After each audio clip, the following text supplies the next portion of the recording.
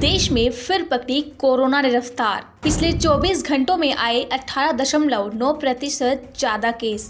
दोस्तों, देश में बीते दिन कोरोना के मामले कम होते नज़र आ रहे थे, लेकिन अब एक बार फिर से इस जानलेवा कोरोना वायरस की रफ्तार बेकाबू होती जा रही है। साथ ही कोरोना का सबसे खतरनाक वेरिएंट ओमिक्रॉन भी तेज़ी के साथ अपने पैर पसार रहा है। आलम यह है कि देश में पिछले 24 घंटों में कोरोना के दो लाख बयासी हज़ार नए केस सामने आए हैं, जो कि कल की तुलना में अठारह दशमलव नौ प्रतिशत अधिक है। जबकि कोरोना से 441 लोगों की मौत भी हुई है। वहीं देश में कोरोना के नए वेरिएंट ओमिक्रॉन के मामलों की कुल संख्या बढ़कर आठ हज़ार नौ सौ इकसठ हो गई है। इसके साथ ही सरकार टीकाकरण और टेस्टिंग के आंकड़ों पर भी ज़ोर दे रही है। केंद्र सरकार ने कोरोना के इलाज से संबंधित अपनी गाइडलाइंस में कुछ बदलाव किए हैं। नई गाइडलाइंस में डॉक्टर्स को सलाह दी गई है कि वो मरीज़ को स्टेरॉइड्स देने से बचे। इससे ब्लैक फंगस जैसे दूसरे इन्फेक्शन होने का खतरा बढ़ जाता है। कुछ दिनों पहले ही नेशनल कोविड टास्क फोर्स के chief doctor V K Paul ने दूसरी लहर के इन ड्रग्स के ज़रूरत से ज़्यादा इस्तेमाल को लेकर पछतावा ज़ाहिर किया था। नई गाइडलाइंस के अनुसार, अगर स्टेरॉयड बहुत जल्दी और ज़्यादा मात्रा में या फिर कहे कि काफ़ी लंबे समय तक दिए जाते हैं तो इससे मरीज़ को दूसरी गंभीर बीमारियाँ हो सकती हैं। लेकिन दोस्तों, सवाल ये उठता है कि आखिर ये स्टेरॉयड क्या होते हैं? और अगर ये मरीज़ को लंबे समय तक दिए जाए तो मरीज़ किस तरह की गंभीर बीमारी का शिकार हो सकता है? साथ ही सवाल ये भी उठता है कि इससे किस किस तरह के इन्फेक्शन का आप शिकार हो सकते हैं? आपके इन तमाम सवालों का जवाब आज मैं आपको दूँगी इस वीडियो में। लिहाजा बने रहिए वीडियो के लास्ट तक मेरे साथ। क्या होते हैं स्टेरॉइड्स क्यों मरीज़ को स्टेरॉइड्स देने से बचे डॉक्टर्स दोस्तों स्टेरॉइड्स एक प्रकार का केमिकल होता है, जो कि हमारे ही शरीर के अंदर बनता है। इस केमिकल को सिंथेटिक रूप में भी तैयार किया जाता है, जिसका इस्तेमाल किसी विशेष बीमारी के इलाज के लिए किया जाता है। इसके अलावा स्टेरॉइड का उपयोग पुरुषों में हॉर्मोन्स बढ़ाने, प्रजनन क्षमता बढ़ाने मेटाबॉलिज्म और इम्यूनिटी को दुरुस्त करने में भी किया जाता है। मांसपेशियों और हड्डियों में मजबूती बढ़ाने के साथ साथ दर्द के इलाज में भी यह इस्तेमाल किया जाता है। एक्सपर्ट का मानना है कि स्टेरॉइड्स के ज़्यादा इस्तेमाल से हार्ट अटैक लीवर की समस्या ट्यूमर, हड्डियों को नुकसान, शरीर का विकास रुकना, बांझपन, बाल का झड़ना, लंबाई बढ़ना, अवसाद जैसी आदि बीमारियाँ हो सकती हैं। बावजूद इसके, डॉक्टर्स कई मामलों में स्टेरॉइड का इंजेक्शन देते हैं, जो कि हानिकारक है। दूसरी लहर में कोरोना मरीजों को स्टेरॉइड से हुई थी परेशानी। दोस्तों, कोरोना की दूसरी लहर के बीच ब्लैक फंगस की बीमारी भी अस्तित्व में आई थी, जिससे लोग काफ़ी डर गए थे। क्या आप जानते हैं कि ये क्यों हुआ था? अगर नहीं तो चलिए जानते हैं। दरअसल दोस्तों, भारत में कोरोना की दूसरी लहर के दौरान मरीजों पर स्टेरॉइड्स का इस्तेमाल किया गया था। इसके हैवी डोज से बहुत से मरीजों को ब्लैक फंगस का इन्फेक्शन हो गया था और कई लोगों ने अपनी जान भी गंवाई थी। इसके कारण कई मरीजों को हाई शुगर लेवल और हार्ट संबंधी बीमारियों का भी सामना करना पड़ा था। कुछ मामलों में तो मरीजों को हड्डियों में तेज दर्द चलने और उठने बैठने में लौटने में भी दिक्कत हो रही थी। लेकिन अब इसको लेकर नई गाइडलाइंस में फैसला लिया गया है कि मरीजों को स्टेरॉइड्स देने से बचना है। लेकिन इसी के बीच इसराइल में भी कोरोना के नियमों को लेकर कुछ बदलाव हुए हैं, जिसके बारे में आपको जानना बहुत ज़रूरी है। साथ ही आपको ये भी जानना ज़रूरी है कि कोरोना के बढ़ते संक्रमण को लेकर किस हैरान कर देने वाले रिसर्च का खुलासा हुआ है। बिना देरी के चलिए जानते हैं। इसराइल ने घटाया कोरोना का आइसोलेशन पीरियड। कोरोना के बढ़ते संक्रमण के बीच आई हैरान करने वाली रिसर्च। दोस्तों, हाल ही में इसराइल ने कोरोना संक्रमितों को लेकर अनिवार्य आइसोलेशन पीरियड को सात दिन से घटाकर पाँच दिन का कर दिया है। ये फैसला आज लागू होगा। इससे पहले अमेरिका और ब्रिटेन में आइसोलेशन पीरियड को घटा चुके हैं, जबकि चीन अब अपने सिर पर लगे कोरोना के आरोपों का ठीकरा किसी और के सर पर फोड़ने की कोशिश कर रहा है। आखिर ये माजरा क्या है? अब चीन किस देश के ऊपर कोरोना के फैलने का आरोप लगा रहा है? आपके तमाम सवालों का जवाब मैं आपको दूँगी। लेकिन उससे पहले जानते हैं दुनिया भर में कोरोना के बढ़ते संक्रमण के बीच एक हैरान करने वाले रिसर्च के बारे में। दोस्तों, नेचर मेडिसिन जर्नल में प्रकाशित हुई इस रिसर्च में वैज्ञानिकों ने दावा किया है कि प्रेगनेंसी के वक्त कोरोना से गंभीर समस्याएँ होने का खतरा बढ़ जाता है।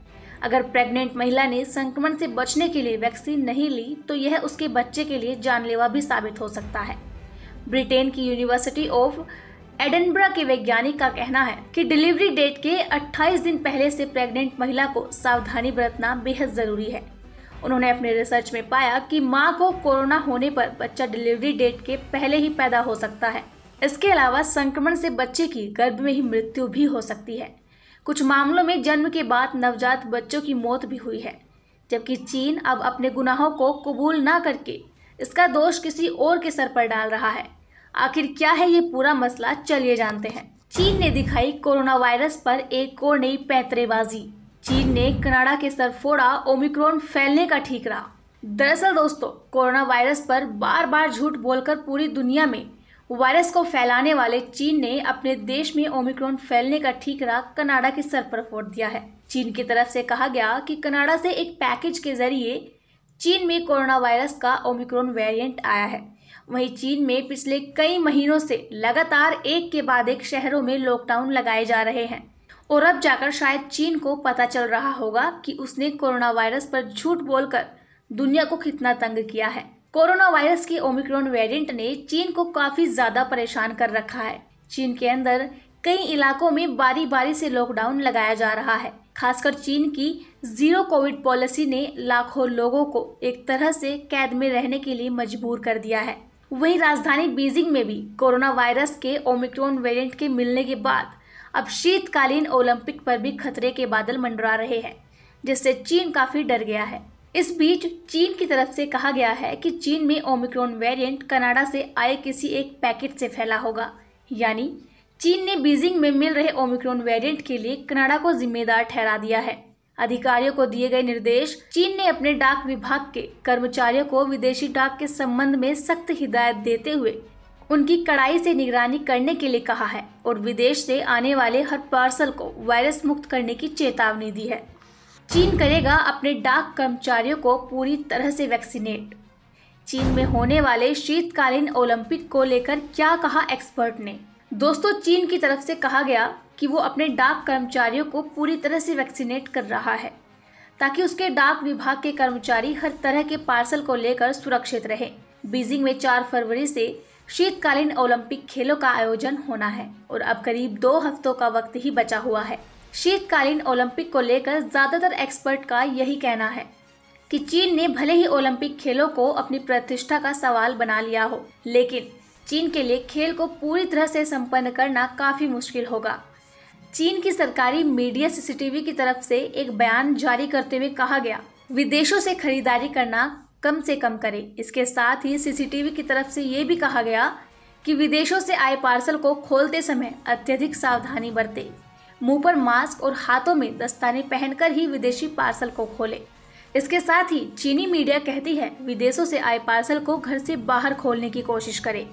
चीन के स्वास्थ्य अधिकारी कहते हैं कि कनाडा से आए एक पैकेट को खोलने के बाद ही बीजिंग का शख्स कोरोना के ओमिक्रॉन वेरिएंट से संक्रमित हुआ है और उस पार्सल को अमेरिका और हांगकांग होते हुए बीजिंग तक भेजा गया था। इसके साथ ही चीन के अंदर सरकार की तरफ़ से विदेशी पार्सल को कैसे खोलना है इसको लेकर भी तरीका बताया गया है और उसका वीडियो देश भर में फैलाया गया है। चीन आज भी अड़ा अपने सबसे पुराने झूठ पर, बीजिंग में हुए लॉकडाउन जैसे हालात। दोस्तों, साजिशों को तलाशता चीन कहता है, जो चोर रहता है, उसे ही चोरी करने की तरकीबें पता होती है। और जो कि चीन से कोरोना वायरस दुनिया में फैला है तो लिहाजा चीन को अच्छे से पता होगा कि कोरोना वायरस को किन किन तरीकों से फैलाया जा सकता है। लिहाजा चीन की तरफ़ से सख्त निर्देश देते हुए कहा है कि, कि कोल्ड चैन आयात जैसे विदेशियों से आने वाले मांस और मछली के उत्पाद से कोरोना वायरस भेजा जा सकता है। लिहाजा इन पदार्थों को लेकर सतर्क रहने की ज़रूरत है। भले ही डब्ल्यू ने ओमिक्रॉन वेरिएंट को कमज़ोर कहा हो लेकिन चीन में ओमिक्रॉन वेरिएंट को लेकर काफ़ी सख्ती बरती जा रही है। और चीन अपने सबसे पुराने झूठ पर आज भी अड़ा हुआ है। कि कोरोना वायरस चीन से नहीं, बल्कि दुनिया के दूसरे हिस्सों से चीन में आया है। बीजिंग में लॉकडाउन जैसे हालात बन चुके हैं। एक रिपोर्ट के मुताबिक, राजधानी बीजिंग में एक तरह से लॉकडाउन ही लगा हुआ है और लोगों से अति आवश्यक होने पर ही घर से या फिर शहर से बाहर निकलने की इजाज़त है। वहीं बीजिंग में वही लोग एंट्री कर सकते हैं जिनके पास 24 घंटों के अंदर कोविड नेगेटिव सर्टिफिकेट हो। आपको बता दें, पिछले हफ़्ते बीजिंग के पड़ोसी शहर जोंगशान में एक कोविड मरीज़ मिला था, जिसके बाद करीब 24 लाख की आबादी वाले इस शहर में हर एक शख्स को कोविड टेस्ट करवाया गया था। और शहर के तमाम सैलून, जिम, सिनेमा हॉल समेत तमाम सरकारी और प्राइवेट दफ्तरों को बंद कर दिया गया था। वहीं शहर के प्रभावित हिस्सों से लोगों के बाहर निकलने पर भी पाबंदी लगाई गई है।